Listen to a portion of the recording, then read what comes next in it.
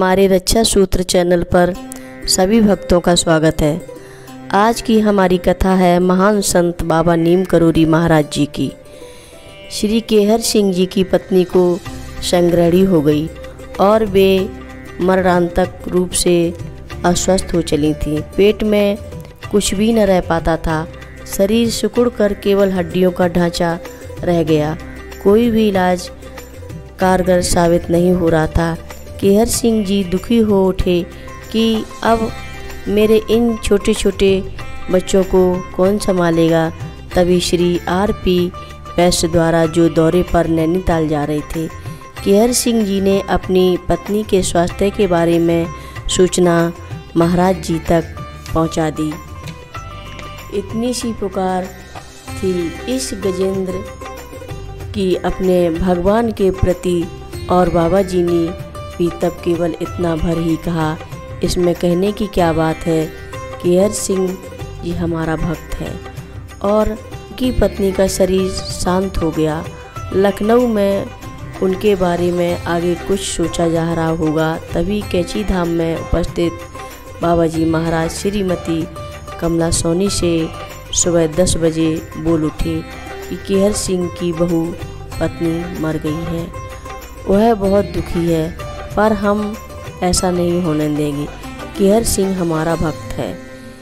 और इधर लखनऊ में अपनी लीला पर पर्दा डालने के लिए बाबा जी ने सिंह साहब की लड़की कुसुम को प्रेरित कर वायु के में दवाएँ का श्रवण श्रीमती सिंह के मुँह में डाल दिया, जो जडवत महिला के मुँह के अंदर न जा सका। परंतु महाराज जी की लीला तो अपना काम कर ही रही थी और 40-45 मिनट मिनट मृत रहने के बाद श्रीमती सिंह पुनः जी उठी तथा उसके बाद साढ़े पाँच वर्ष और रहीं।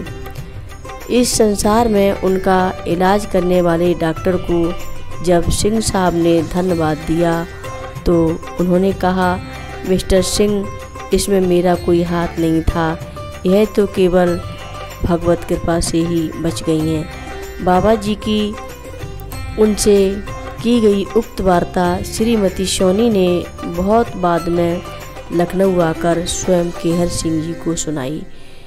इससे भी आश्चर्यपूर्ण घटना तब घटी जब उसी दिन साढ़े तीन बजे शाम केहर सिंह जी को श्री एस के चौधरी का गौतम पल्लवी लखनऊ से फ़ोन मिला कि बाबा जी मेरे घर पधारे हैं और आपको याद कर रहे हैं केयर सिंह जी के वहाँ पहुँचने पर ना तो बाबा जी ने उनकी पत्नी के बारे में कुछ पूछा और ना उन्होंने ही उस रोज़ सुबह हुई घटना का ज़िक्र किया।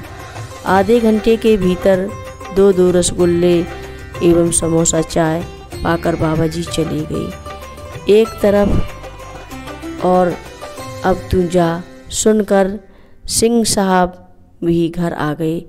उस दिन लखनऊ में बाबा जी ने किसी अन्य भक्त को दर्शन नहीं दिए। तो सुबह से ही कैची धाम में ही बराबर विराजमान रहे। आज की थी हमारी यह कथा बाबा नीम करूरी महाराज जी की। सभी भक्तों को अच्छी लगी हो तो हमारे चैनल को अवश्य सब्सक्राइब करें शेयर करें और लाइक करें। कमेंट बॉक्स में लिख भेजें, जय नीम करोरी बाबा जी महाराज। सभी भक्तों को हमारा नमस्कार।